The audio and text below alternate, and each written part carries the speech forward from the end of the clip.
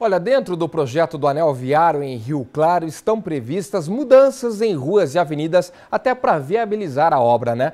Mas uma delas né, foi instituída há pouco e já é alvo de muita reclamação.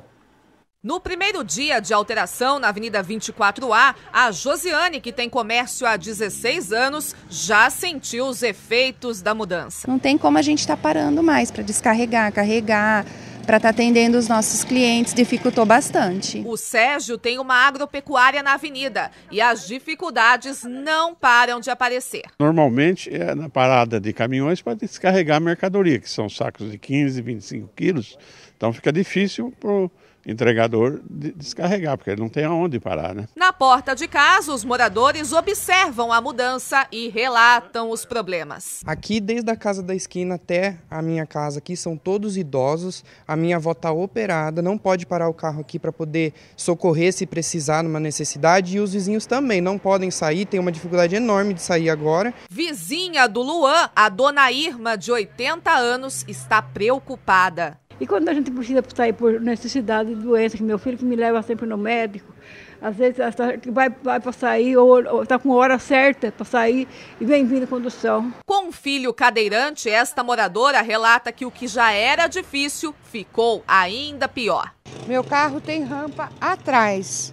Então eu preciso entrar de ré e tenho que fazer entrar contramão aqui para poder sair com ele. Já o seu José precisa sair para trabalhar mas como tirar o caminhão da garagem? Vou parar dois trânsitos e vou ter que ir arrumar um lugar lá na praça, estacionar o caminhão e vir aqui fechar meu portão. Olha só o que o Flávio teve que fazer. Quem também está enfrentando problemas por aqui são os ciclistas. A ciclofaixa foi apagada deste ponto por aproximadamente dois quarteirões. Passar por aqui virou um verdadeiro teste de risco, já que bicicletas e veículos dividem um espaço de apenas 3 metros e meio. Até ali em cima eu vou pela calçada, porque aqui se tiver passando um carro junto, ele dá uma desequilibrada. Uma, uma prefeitura que eu podia elogiar bastante pelas ciclovias que fez, agora faz algo completamente errado numa perspectiva, vou inventar uma palavra aqui, carrocêntrica. Quem convive diariamente com o problema ainda relata que nos horários de pico a situação fica ainda pior